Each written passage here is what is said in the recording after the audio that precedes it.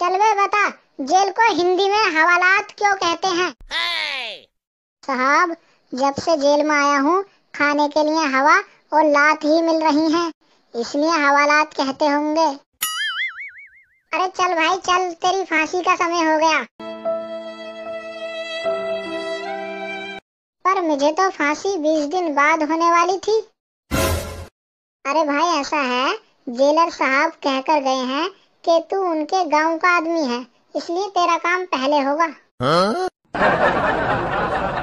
अरे साहब, हमें छोड़ दो। हम तो चटनी, बासी, रोटी खाता हूँ।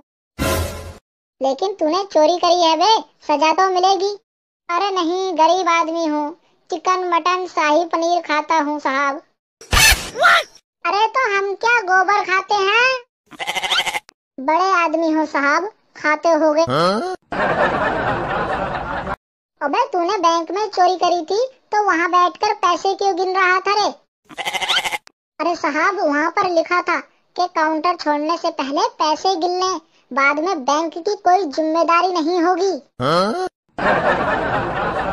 अबे कालिया, बकवास बंद कर। ये बता, आखिरी बार किससे मिलना चाहेगा? साहब, हम अपनी बीवी से मिलना चाहता हूँ। माँ बाप से क्यों नहीं? अरे माँ बाप तो अगला जन्म लेते ही मिल जाएँगे। बीवी के लिए तो 25 साल इंतज़ार करना पड़ेगा हाँ?